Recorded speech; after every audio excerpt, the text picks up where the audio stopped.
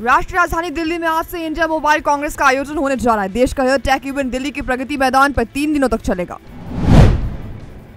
PM Narendra Modi आज मध्य प्रदेश का दौरा करेंगे। वे सतना ज़िले के चित्रकूट में आयोजित कई कार्यक्रमों में शामिल होंगे।